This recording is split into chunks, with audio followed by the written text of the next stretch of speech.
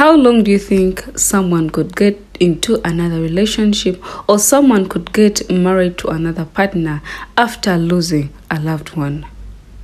If it's you and you lost a wife, a husband, or a partner, how long could you give yourself to relieve, to relax, and concentrate to get into another relationship?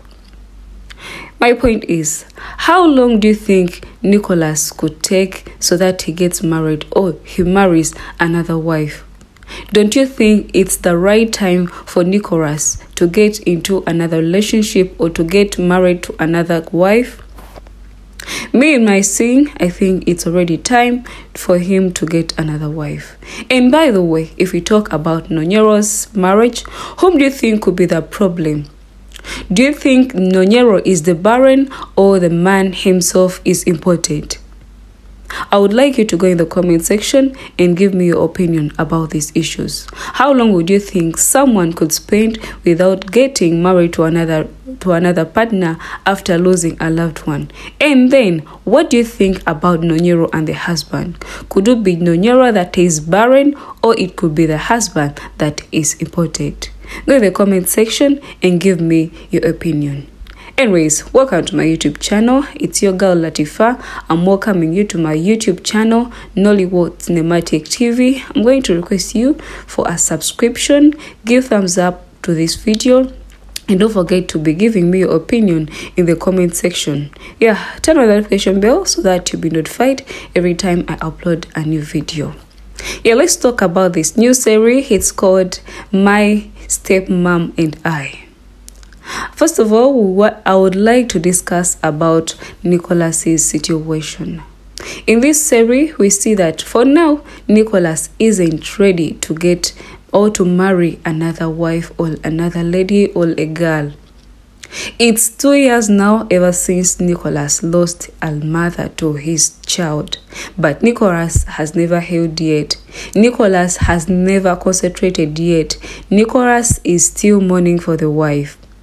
Don't you think it's high time for Nicholas to get another partner don't you think it's high time for Nicholas to get another partner, another wife that will take care of him and his only one daughter?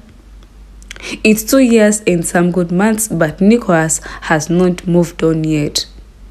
In the swellings, it's always till death do us part. So if someone dies when you're still in a relationship, when you're still in love, when you said till death do us part, please just try to move on.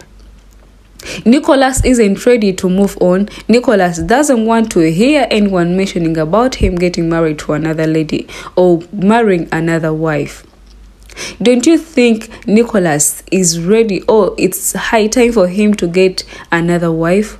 Remember, Nicholas is having a daughter who is still young, she's still at a young age. This girl really needs a mother figure. She really needs a mother's love. But don't you think she will even regulate in future? Because in this series, it's all about my stepmom and I.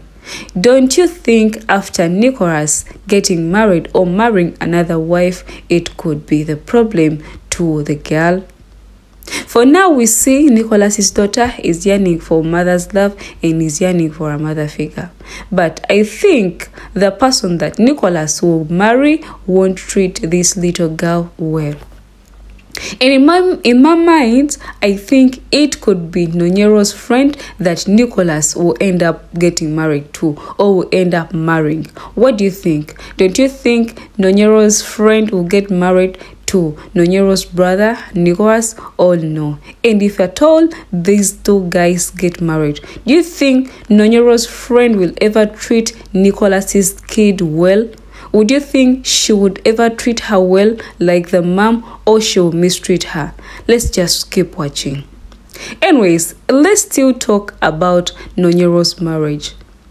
In this series, we see that Nonyero is blamed to be barren. But my question is is it really Nonyero that is barren or it's the man that is important? At times, men blame women of not conceiving, but not knowing that this could be a side way. It could be either the man that can't make the woman conceive, or it could be the woman that is barren. In this case, whom do you think is the problem? Could it really be Nonyero that is really barren, or it could be the husband that is important, or he's someone who can't make a woman conceive? Give me your opinion in the comment section.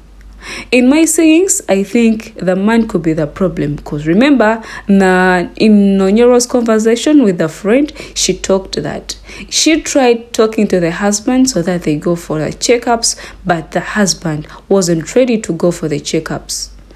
What do you think would happen after them going to the checkup? Would it be the husband that is having the problem, or it could be that Nonyero is barren? And still going to talk about the mother in law. Oh my gosh. Would you ever stay with your mom in law or you, or you would ever stay single forever? There are some mother in laws that are really, really toxic. You can't deal with her. You will never deal with a mom in law that is toxic. Like, for God's sake, we saw that Nonyero was uh, was stopped from working and she lost her job just because of the mother-in-law. And was really was it really called for for Nonyero's husband to call the mom and explain her each and everything happening in his home? Was it really called for? I don't see any reason as to why Nonyero's husband has to like to add in the mom into their marriage. I know it's the mom, but there are some issues that you always have to handle, you and your partner. Anyways, go in the comment section and give me your opinion. Do you think it's time for Nicholas to get into another relationship? Do you think it's the right time for him to marry another lady or no? And if it's you, how long would you give yourself to get into another relationship after after losing your partner, your loved one, your husband or your wife? And then give me your opinion about Nonyero's marriage. Whom do you think is the problem? Is it the husband that is important or it's Nonyero that is barren? Go in the comment section and give me your opinion. But don't forget to give thumbs up to this YouTube uh, to this video.